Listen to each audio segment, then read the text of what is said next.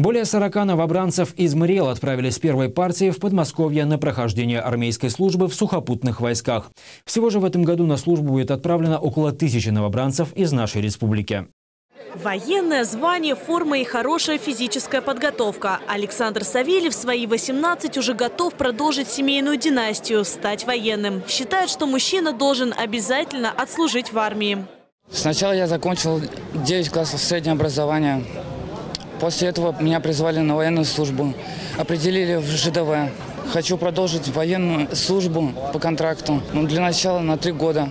В этом году в армии сразу несколько новшеств. Например, так как большинство проходят службу за пределами Республики Мариэл, новобранцам выдают не одну, а сразу две-три сим-карты для связи с родственниками. Кроме этого, призывник получит так называемый НССР – унифицированную сумку со средствами личной гигиены, комплект бритвенных принадлежностей и маникюрный набор. В республике создано 18 призывных комиссий, где для распределения в первую очередь учитывают состояние здоровья, моральные качества, физиологические физиологические особенности новобранцев. Основная часть пригодных для службы отправится в сухопутные войска. Районными комиссиями предварительно распределяются по видам и родам войск.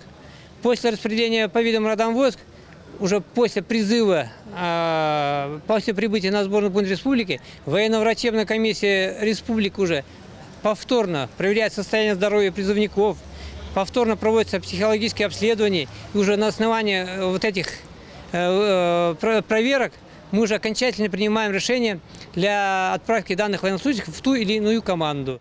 За более чем 100 дней в ряды российской армии из Республики Мариэл отправят около тысячи новобранцев. Как отмечают врачи, число годных для армии растет с каждым годом. В этом году таких около 80%. Первая партия новобранцев отправится в Подмосковье. Служит, как и прежде, год. Следующих будут отправлять каждый день до 7 июля. Призывники из Мариэл отправятся практически во все военные округа Российской Федерации, кроме Крыма. Большинство в Центральный военный округ России.